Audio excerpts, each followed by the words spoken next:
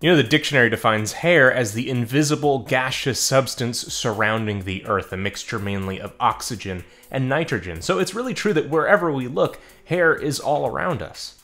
Who put in conjunction with a video and discipline like our clothing video from two months ago, hair is a non structural feature of human and humanoid characters. It's a source of storytelling and self expression for characters, and it's also a little bit of a process to learn how to draw well. A lot of you have asked in comments recently too about ways to make recognizable or new novel hairstyles, so we'll look into that as well. The biggest element of hair to understand is shape not just using a spray or gel to shape it, but to think of the shape of hair first. This might be counter to what we're used to. Hair individually is usually long strands. What's the easiest way to represent that? With a straight or curly line, therefore use lines to draw hair. But for a couple of reasons, it's much easier to think of both the overall shape and the individual segments of hair as shapes. Part of the reason for this, we always do this when using abstraction in design. You could choose to draw every individual leaf of a tree, or you could draw the overall silhouette and draw a few individual leaves for texture. We now grasp that this is a tree. We could draw a plain wall and then add a few bricks to indicate that this wall is made of brick. Now we understand the texture.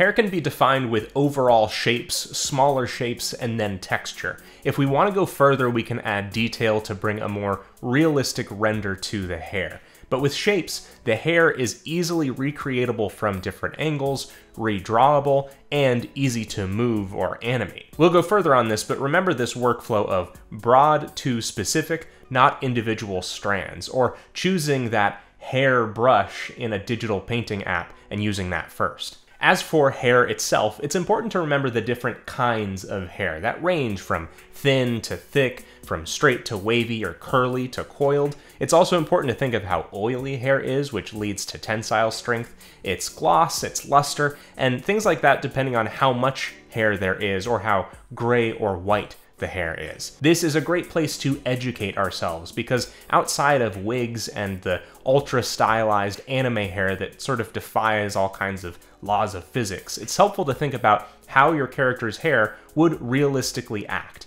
In the real world, Asian hair, for instance, in complete generalities, is relatively straight, thick, and tough because it has a larger diameter than the majority of other hair. European hair might be a light tone like blonde, brown, or red, relatively thin and straight or wavy. Black hair coils at a higher frequency than most other hair. All of these qualities affect how a character might wear their hair, how they might style their hair, and in a lot of cases, the cultural significance and role that hair plays in people's lives.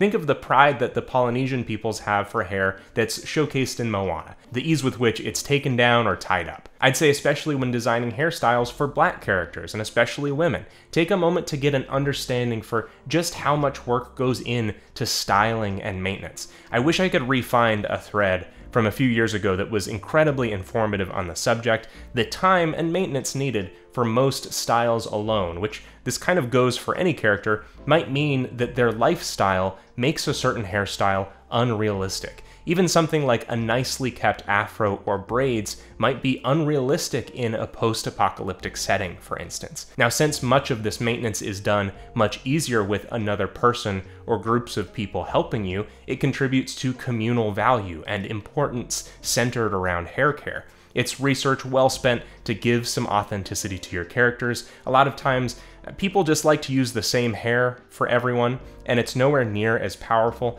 and likely makes people that the character represents not feel as representative. And bounce it off of friends that have the same background. Like, does this track? Does this honestly feel right, and how can I improve? By the way, this chart that I'm using is helpful, but it's not really standardized, and of course, because these things are genetic traits, there are plenty of opportunities for a recessive gene to come up or to have a blend of hair types, so just because something may be more rare doesn't mean it doesn't exist, just like eye color. It's not like because you have a certain background, you are automatically guaranteed to have a certain kind of hair. This is just a range.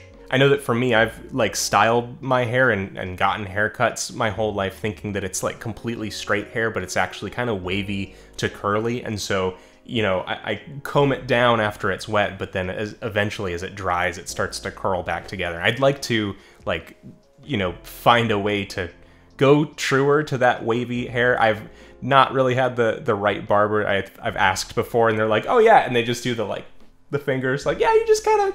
It doesn't it doesn't help. When trying to think up those broad overall shapes, it's helpful to think about the flow of hair. This is a place where we can create appealing shapes and aid the gesture of our character in some cases. On a bald head, you have a front, a back, and a backback. That's the that's the technical term. And of course, you have each side. You can part hair in the middle or on one of the sides and instantly create two separate shapes, two separate flows to the hair. You can pull those shapes backward or forward.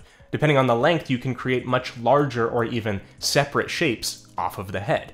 Keep in mind that again, depending on the length and type of hair, you will frequently find S-curves, shapes that are balancing out the weight going back and forth, even in straight hair that's long enough sometimes. One place a lot of people seem to have trouble is the place where the hair meets the forehead or anywhere on the border of the head. Here is where it helps to create both a line on the head itself as well as a shape that's extending off of the head, a segment. The shape that this makes can be a straight line, a wavy one, a widow's peak, which comes to a point, or a receding male pattern baldness bangs or another portion of the hair can hang down, and usually this little wavy shape meets the ears, either clean cut or with sideburns from the area in front of the ear.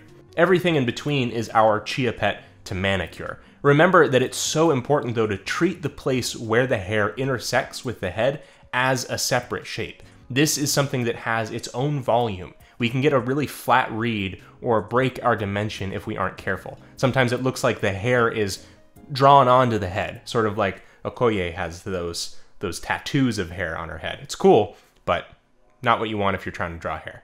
Once we get our hair fundamentals down and practice the basic ways that simple hairstyles in everyday life look, we can start to get more stylized and even add some subtle hints about our character's design and the silhouette to their hair. Maybe braids or dreadlocks or clips or ties add dimension and create commas of sorts, a break in one shape and the start of another.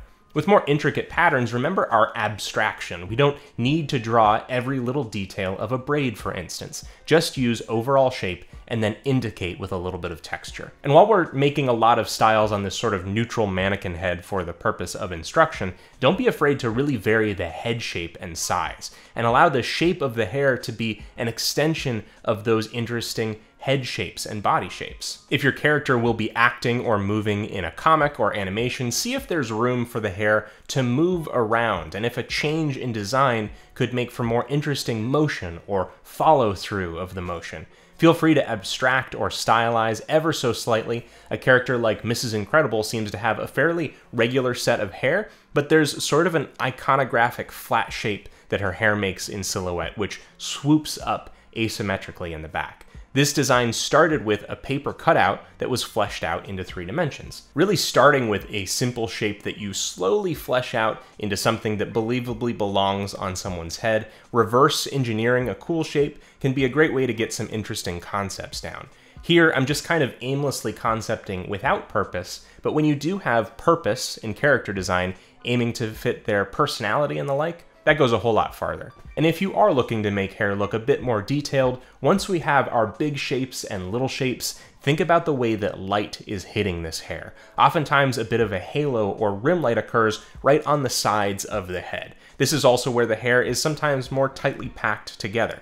Instead of making those individual lines, think about cutting negative space shapes into our smaller detail shapes to show the texture and individual strands of the hair. We've touched on the element of self-expression, but the hair can say a lot about our characters. Unkempt to show a chaotic and scatterbrained energy, tight or slicked back for someone controlling or even domineering. This video is obviously about the hairstyles that we put on human characters, but hair and fur is also a part of animal creatures, and we can use a lot of the same principles. I've always had a little bit of a personal pet peeve with animal characters that look like they're wearing a wig almost like Bugs Bunny in disguise. I can't speak for everyone, I just think it makes a bit more sense when the hair seems like it originated from the creature that it's on, unless it's supposed to be like a, a wig, like the Rabbid Peach that isn't exactly the peak of character design itself. Especially when the male characters have seemingly realistic hair, but then the female characters have like a blonde human wig for some reason.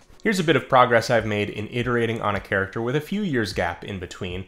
Goodwyn here is a street urchin that I made a few years ago, and while there's some good elements to the design, the hair stands out as a real weak point in this old illustration.